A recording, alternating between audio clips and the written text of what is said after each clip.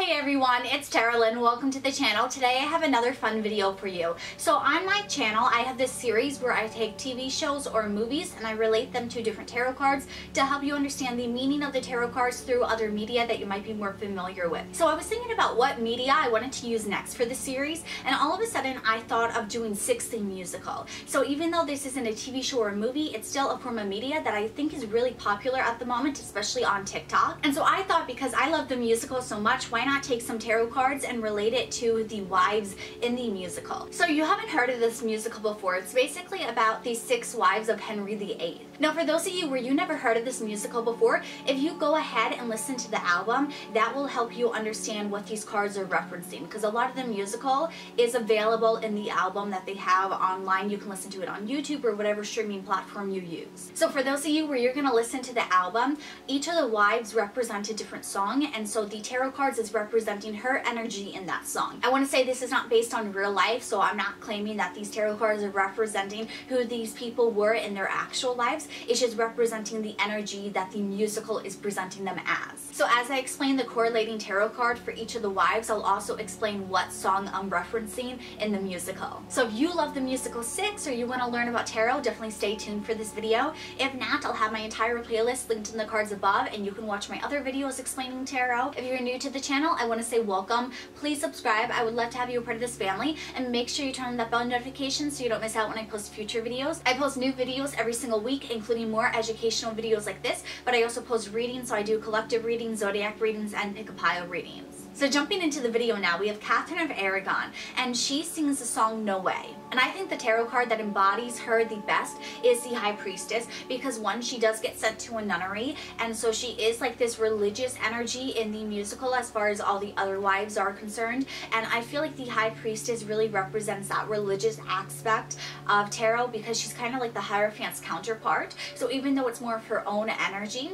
she still represents that energy of finding something that she believes in and that she sticks with. And I also feel like Catherine of Aragon is a very strong person. She's gone through a lot and she uses that to become stronger. And I feel like that's something that the High Priestess does because she's focused on self-growth and self-improvement. And I also feel like Catherine is a very strong person for standing up to him and saying no in the song. She's basically saying, no way, I'm not going to do that. You're not going to manipulate me or push me around and make me do things that I don't want to do. And I feel like the High Priestess represents an energy that is very strong and very self-assured and is not going to be dictated by other people no matter what it makes them look like. And so the High Priestess to me represents a female energy who is very self-assured, very confident, does have the ability to be spiritual and they use that to help them remain self-assured. It helps them stay confident where they don't let other people sway them. It's someone who is very set on who they are and what they will and won't do. And it's almost like they have a very strong sense of ethics and morals because they know what they believe in and they're not going to sway from that. And so it's not someone that you can really bulldoze around. So if this comes up in a tarot reading for you, it could be representing a spiritual energy of some sorts, or it's someone who is very strong in what they believe and they are not going to be swayed. They're not going to let others push them around. This is really going to be an energy representing that either you or the person that you're reading for is going to face challenges and maybe be tested in a way, but it's meant to teach you how to connect with your intuition and be more mindful about what is really guiding you. So next we have Anne Boleyn, and she sings the song Don't Lose Your Head. And so I really feel like the Page of Swords paired with the Seven of Swords really represents her energy because the Page of Swords is someone where they are very smart and they can be very calculating, but they're the page. So they're a little bit immature and as a result, what they say can come out in ways that is blunt, rude, or not how they intended, or it can be something where like they have a quick tongue where they mean what they say and they stand up for what they say, but it comes out very rude and very blunt. And I feel like we see that with Anne Boleyn. She says something and everyone's like, oh my god, and she's like, what? Because she doesn't see the issue with what she said. And then the Seven of Swords represents an energy in which there's betrayal, there's things going on behind the scenes, um, there's some backstabbing. And so one, we can say that this is depicting her and Henry's relationship going behind Catherine of Aragon's back. But we also see it with Anne Boleyn and with Henry in the sense of he cheats, she cheats, and it's almost like getting each other back for things behind each other's backs. And so it's this backstabbing energy all around that eventually gets her beheaded. And so because the Seven of Swords represents this betrayal and the secrecy that then leads to someone getting hurt, I feel like that really represents her energy. So I think as a person, the way she held herself in the musical represents the Page of Swords, but what happened to her more so represents the Seven of Swords. So the Page of Swords shows up in your reading. It could be representing an immature energy or a younger energy in which someone is trying to achieve their goals or trying to move forward in life, but they have a tendency to kind of trip over their words or say things in a way that rubs people the wrong way. And so they have a tendency to kind of get on people's bad side. And people see that as being either rude or being a bitch. And so they end up having a harder time when it comes to forming these deep connections because they are very much trying to be very calculating with what they're doing, even if they don't mean others harm by it. And then the Seven of Swords represents an energy in which there's things that are going on behind the scenes that has some shady element to it, in which someone is getting betrayed, backstabbed, or it's something that is going to end up hurting them. And so when it shows up in a reading, it could either be warning you that people are working against you or doing things behind your back, or it's showing you, hey, you're doing something that's not for your highest good, and there's going to be repercussions as a result of it. So next we have Jane Seymour, and she sings the song Heart of Stone. So for her, I feel like she's represented by the Empress card, and her relationship with Henry is the Two of Cups. And I say this because the Empress is this regal energy. She is the Empress, but she also is this loving, nurturing mother, and she has a lot of compassion within her. And we see this with Jane. She has a very compassionate heart for Henry. She sees the best in him. And she also is the one who mothers his first son. So she's very important to him in the sense that she provided him what he wanted, which was another heir to the throne. And then I say that her situation is the Two of Cups because the Two of Cups represents this energy of soulmates, of this divine union, and this very happy and loving connection between two people. And I feel like that's her and Henry because regardless if it was just because of her son or not, she felt the love for him and in a way he had more respect for her because he got a son with her. And so they had this very unique relationship that he didn't really have with the rest of his wives, where there is a lot more level of compassion between the two of them. And so the Empress shows up in a reading. It could be representing fertility or birth of some sort. It also represents this very loving, nurturing energy, but at the same time, this power of authority in which someone is in control or they have more power than others in the situation.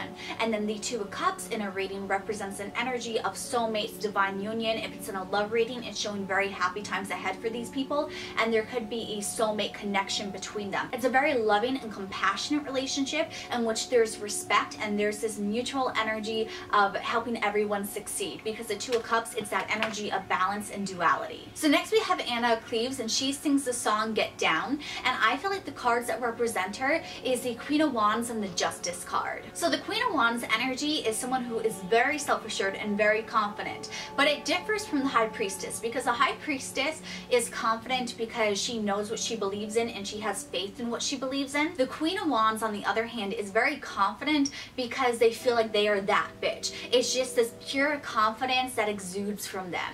And so it's not anything in the sense of it's spiritual. It's more so like they believe in themselves and there's nothing you can do to shake that confidence. And we see that with Anna in the song especially. She's going around and kind of flexing on everything that she has and she doesn't care that Henry didn't like her picture, didn't find her attractive or hot enough because she's like, I know who I am. I know how good looking I am and I don't need him anymore because now I can get anyone I want. And so it's this very confident and empowering song. And then I feel like the Justice card represents her energy as well because this is an energy in which I'm getting what I get. And so you married me, now you have to divorce me, and I'm going to get everything that is rightfully mine in this situation. And whatever I had prior, you can't take away from me. So it's this energy of karma in a sense. And the Justice card really represents balance, it represents justice, so karma in a sense, but also the legal situation of getting divorced can be represented with the Justice card. And so I feel like this really represents the energy of her being confident, but also knowing what is balanced and what she's going to get out of this situation and how it's going to end. She doesn't have any fear of losing everything because she knew she brought things to the table when she met him. And so it's this really empowering song that I feel like the two of these cards just represent so well. So if you get the Queen of Wands in your reading, it could represent a couple different things. It could be telling you you need to be more confident, that you need to be more self-assured, or it could be indicating that you are already confident and it's leading to better things in your life. But it could also be representing that there's someone else in your life who feels very confident and really in their power of who they are and whatever you do is not going to knock them down so don't even attempt to. And then the justice card, like I said, it could represent karma in your readings. It could also represent if there's a legal situation going on that it is going to end up in your favor. But justice also represents this energy of balance and having everything sync up. And so if it's appearing in a reading and things have been going a bit hectic for you lately, it could be showing you that things are going to mellow out or vice versa. If things have felt really good, it could be indicating that things are going to be going down a little bit and to prepare for it. Or things could be going up in a better way in which you're having new opportunities open up to you. Definitely pay attention to what other cards you get when you get the Justice card in your readings because that's going to indicate what way the scales are tipping. So now we have Katherine Howard and she sings the song All You Want to Do. And so this is a very heartbreaking song and so I feel like the cards that represent her is the Queen of Cups and the Five of Cups. And so first of all the Cup suit is a very emotional suit. So it's definitely someone who is in touch with their feelings and we see that throughout the song. Her whole reading is on these failed relationships and how she goes into them being very optimistic and then she ends up being heartbroken because people are only using her. So I feel like the reason the Queen of Cups represents her energy is because the Queen of Cups is someone who's very compassionate, very loving, very nurturing, wants to have these very fulfilling relationships, wants to help people grow, wants to help others improve, and wants to be an asset in a relationship in which they're a team player. They're providing things to the table, but they're also looking for that relationship in which they have that love and compassion poured back into them. They're looking for their equal counterpart. And that's what we see throughout the song, even when she thinks it's just going to be a platonic relationship, she just wants people to give her back the love she's been giving to others instead of using her only for her looks and her body. And so we see that throughout the musical, she is wanting to have this love and compassion and energy given back to her, and it just never is. So I feel like she is the Queen of Cups who just never got that love returned. And that's why we also have the Five of Cups, because the Five of Cups represents an energy of disappointment, of having the things in front of you not work out, but then having things behind you that still have potential. And I feel like that energy represents Catherine so well because every time a relationship doesn't work out, she's optimistic that the next one will. So she's disappointed by her current options, but behind her, she's hopeful for things to change. But as the song goes on, you see that her hope decreases and she starts to realize this is the way that men perceive her and this is how it's always going to be with them. And so she loses that hope and she just focuses on the disappointment in front of her, which very much embodies the energy of the Five of Cups because while you have these options behind you, you don't always see them. And so you are crying about things in front of you because they have left you very empty and very disappointed. So if you get the Queen of Cups in a reading, it could be representing that you were trying to take care of someone, you were trying to nurture them, but it also is warning you to be cautious of how much energy you're giving others and make sure that everything is being returned back to you. If it's not, reevaluate what you're doing and how much you're giving. But if the Queen of Cups appears in your reading, reading when asking about someone else, it means that they're very genuine in their feelings and their emotions. They want the best for you and they want to help you with this relationship, whether it's a romantic relationship or whether it's a platonic relationship. Whatever the goal of the relationship is, whatever they have been upfront about, that is the truth. And then if you get the Five of Cups in a reading, it could be warning you that you're going to face disappointment or something's not going to work out. But if you allow yourself to open up your perspective and get a new way of thinking, you can find something else to channel channel your energy into to overcome this situation. But it is representing that things are not going as you think, that whatever you're working on right now is not going to work out in a way that you are expecting it to. And so prepare for disappointment, but allow yourself when you face that disappointment and when it happens, not to get stuck in it. Don't wallow in it. Allow yourself to brainstorm and come up with another solution or another option. And it's also letting you know that if something doesn't work out between you and other people, let it go, walk away from it, and you will eventually find something better. But it's going to be a process before you are able to do so. So finally, we have the last wife. We have Catherine Parr, and she sings the song, I Don't Need Your Love. So I think the tarot cards that represent her the best is the Three of Swords with the Chariot and with the Lover's cards. And so the Three of Swords is representing her heartbreak over having to lose her actual love and walk away from him because they can't be together because Henry VIII wants to be with her. And the chariot represents her energy of moving on and being with Henry and allowing herself to leave her old life behind. And then the Lover's cards represents the fact that her and Henry are together for majority of their lives. She's his last wife. She doesn't die and they don't get divorced, so she is with him for a majority of their lives. And so I feel like the Three Swords represents this energy of heartbreak, of loss, of pain, of grief.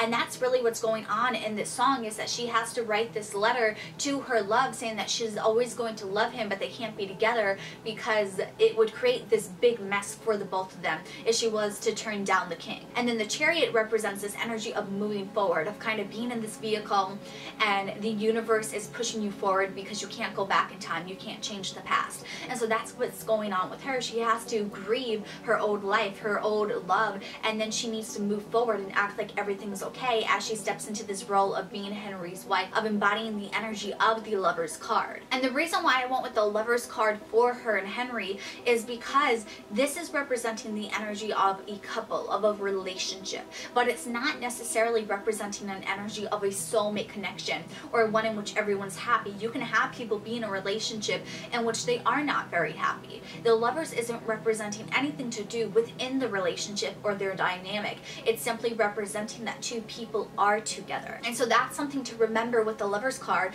is just because people are together, that's not indicating success for a relationship. You really need to pay attention when other cards come out with the lovers card or you have to be very specific when asking about the relationship question. And then if you get the lovers card and it's answering the question in a direct way, then you can take it as a positive. But just saying, will these two people end up together? You can get the lover's card and it could be yes, but it's not indicating they will be happy while they are together. So that's something to keep note of. And then going back to the energy of the chariot, if we listen to the song, she literally talks about being the survivor. So she's not saying that she genuinely enjoys her life. She's also not saying that she doesn't. But what she is indicating is that it was something that just happened. It's something that was just kind of a part of her life. And that's where the chariot card comes into play because that's something that's just like pushing you forward or removing you from the past into the future. The chariot card can also represent time. So it represents the passing of time between when she had to leave her old love and then move forward with Henry. So again, it's really this energy of moving forward, whether in time, whether in a situation, whatever. It's this energy of I was here and now I'm here. And so I really feel like the combination of these three cards indicates her situation so well. And so the Three Swords is appearing in a reading. It could be warning you that you are going to have a situation in which you are going to have to face a lot of negative emotions. You're going to have to mourn. It could be representing a breakup or something is not working that you have to let go of. You have to leave it behind. It's really this energy of mourning, of grieving, of being upset by a situation and allowing yourself to start the healing process by accepting it so that you can feel these emotions and you can process them. And so if this card is appearing in your reading, it could be warning you that there's something that you need to release, that you need to let go of, or it could be indicating that there's something you've been holding on to that's been causing you pain and it's time to acknowledge that so that you can put a stop to it. And then when the chariot card appears in a reading, it could be indicating that you're moving forward and this could be in a good or bad way depending what cards it's referencing. But it's indicating that whatever you were at before, you're moving forward towards into a new situation. And then if you get the lover's card in a reading, it could be indicating that you and a person are going to be having a romantic relationship, but it also represents the energy of choices. And so with this being said, based on the cards around you that will help you decide what choice is better for you and if you even have an option when it comes to this choice. Because sometimes we are thrown into things like we see with Catherine Parr where yes technically she had a choice but if she chose her original love that would cause a lot of issues and potentially lead to death for them because he was the king. So there was this power dynamic that she did not have control over. And so it represents this energy of really needing to evaluate things and look and see what your options are to see if the outcome that you are being told is going to happen is actually one that you want. And so really pay attention to the other cards that you have come out with the Lover's card to show you if it is actually leading to a result you want or not. And if it's not, definitely pull some more cards and see if there's some guidance that you can get on how to either avoid things or change your current trajectory so that is not your future. So it's definitely a card that you want to pay attention to and don't always assume that it is a positive card. It's not by all means a negative card. It's kind of a neutral card and you need the other cards to indicate what it fully means. So that's Six the Musical as tarot cards. I hope that you found this video helpful and that it helped you understand tarot a little bit better. And I also hope that it helped you discover a new musical if you haven't heard of this one yet. It's one of my favorite musicals. And so if you found this video helpful, let me know in the YouTube comments down below. Also give this video a big thumbs up and share with others who need to hear it. If you haven't already subscribed, please do so. I would love to have you a part of this family. And don't forget to turn on that bell notification so you don't miss out when I post my next video. I post new videos every single week, including new educational videos like this. I also post zodiac readings, collective readings, and pick a pile readings, along with unboxing videos of different tarot and oracle decks. And I'm going to have other videos linked in the cards above for you to watch next. I can't wait to see you all in my next video. I hope you have a good one. Bye.